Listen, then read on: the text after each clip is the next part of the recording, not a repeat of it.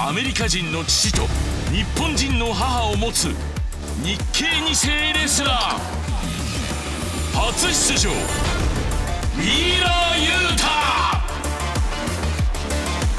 I'm the decoder. I solve puzzles, that's what I do.